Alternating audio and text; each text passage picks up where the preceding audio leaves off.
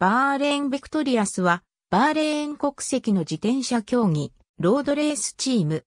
中東のバーレーン王国をベースにした新チームとして、バーレーン王室の王子で、同国オリンピック委員会会長を務める、ナセル・ビン・ハマド・アル・カリファ王子の発案で、プロジェクトが動き出し、2017年のチーム結成に至った。2016年8月、すべてのグランツールで総合優勝を果たしているヴィンチェンツォ・ニーバリが移籍することが正式に発表された。9月、新城幸也がバーレーンメリダプロサイクリングチームと2年契約を結んだことを発表。すでに、ジョバンニ・ビスコンティやエンリーコ・ガスパロット、ハインリッヒ・ハウスラー、ニッコーロ・ボニファツィオ、カンスタンティン・シュートソー、マヌエーレ・ボアロ、フェンチュンカイラの加入が決まっている10月、2016年シーズンをもって現役を引退することを表明していたホアキン・ロドリゲスが加入し、2017年シーズンも現役選手として走ることを表明したが、再び引退を表明。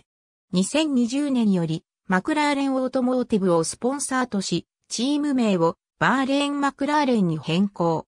2019年8月10日、かねてより移籍が噂されており、チームの中心的存在だったヴィンチェンツォ・ニーバリが2020年からトレック・セガフレードへ移籍すると発表。さらに9月29日には1年の期限を残し、ロハン・デニスとの契約を解除したと発表した。しかし2020年にはチームディメンションデータからマーク・カベンディッシュが移籍した。10月にはかつてチームスカイでマネージャーを務めたロッド・エリングワースをチーム代表に迎えた。